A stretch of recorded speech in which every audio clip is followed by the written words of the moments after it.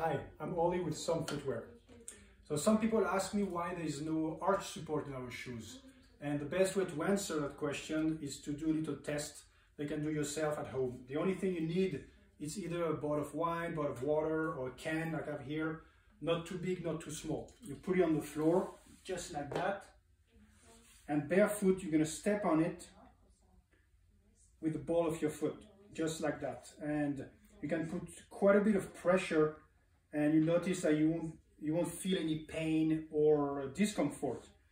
Then you do the same thing, but instead of stepping with your ball of your foot, you're to step with the arch of your foot. And it won't take much pressure to feel some pain and discomfort. So I think that's the best way to explain why there's no arch support in our shoes.